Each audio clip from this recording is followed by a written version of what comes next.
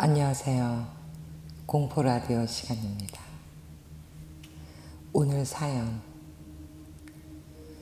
어릴 적 중학교 2학년일 때 아버지 지갑에 손을 대서 호되게 혼난 적이 있었습니다. 고작 몇천 원 되지 않는 돈이었는데 억울하다고 생각한 저는 무작정 집을 뛰쳐나왔습니다. 오, 그래도 되게 화나고 열받았었군요. 늦은 시간 마땅히 갈 곳도 없었던 저는 제가 다니던 학교로 들어갔습니다. 어두컴컴한 복도와 불 꺼진 교실. 무섭다는 생각보단 억울하고 분한 마음이 더 컸던지라. 교실에서 밤을 지새기로 마음먹었습니다. 피곤함이 밀려와 책상에 엎드려 눈을 붙인 지 몇 시간이 지났을까요? 위층에서 누군가가 뛰는 듯한 소리가 들리는 것 같았어요. 쿵, 쿵, 쿵, 쿵, 쿵. 소리는 점점 더 가까이 다가오는 듯했고, 순간 무서운 마음에 잠이 들었습니다.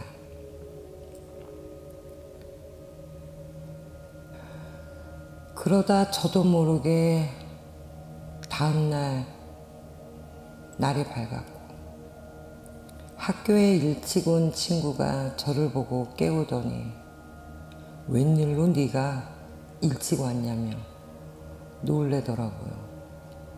저는 그렇게 하룻밤을 학교에서 보낸 거였죠.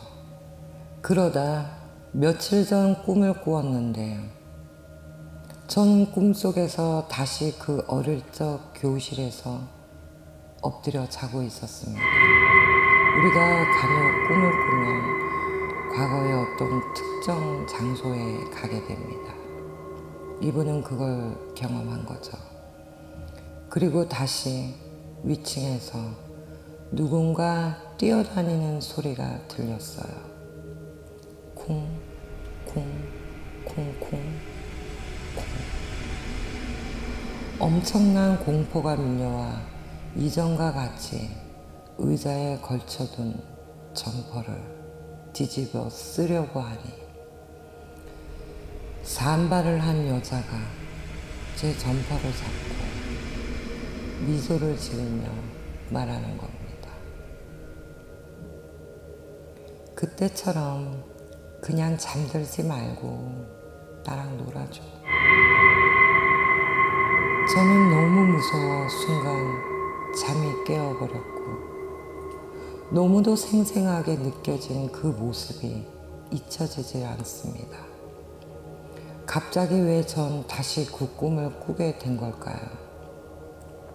이 사람들은 한 번 정도는 팩트 있는 어떠한 경험치를 가지면 수십 년의 시간이 지나도 다시 그곳으로 기억이 되돌아가거나 떠오르는 그런 경험들은 여러분도 많이 했을 거예요.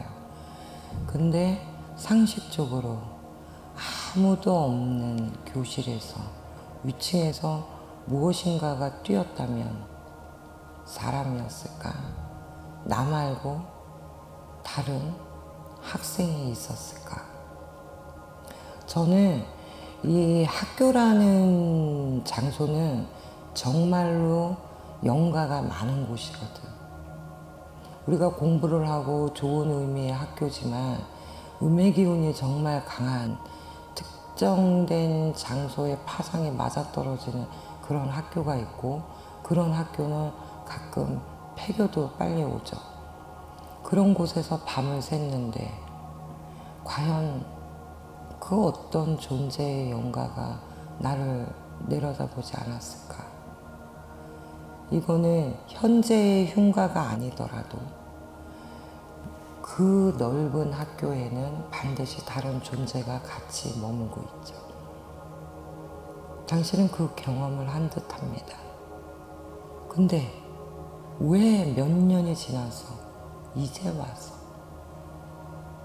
잠들지 마. 나랑 놀아줘. 이 말을 들었을 때 당신 진짜 오금을 저렸을 거야. 그 공포가 굉장히 오래 갈 거예요. 기억이. 정말로 그 존재가 그때처럼 나를 따라왔을까? 한 번 정도는 당신의 잠자리에 부엌칼을 칼끝이 문을 향하게 벽에 밑에다 놓고 잠을 한번 자보세요. 그러면 우리는 악몽에서 벗어날 수 있습니다. 아주 소소한 작은 비방이죠. 그래도 만약에 그 꿈이 계속 떠오른다면 그때는 또 다른 비방을 일러드릴게요. 꽃님들, 아무렇지 않게 우리가 하는 행위에서 얼마나 많은 영가들과 컨택을 할 수 있는지 우리는 위험한 어느 순간을 한 번 정도는 겪게 됩니다. 무서운 꿈, 악몽을 꿨을 때는 드림워커가 아닌 이상은 벗어나지 못하죠. 그럴 때 벽의 밑에 집에 있는 과도나 부엌칼을 놓고 주무세요. 칼것은 문 밖을 바라보기. 재미있으셨나요? 사랑하는 꽃님들, 뜨거운 시청 감사합니다.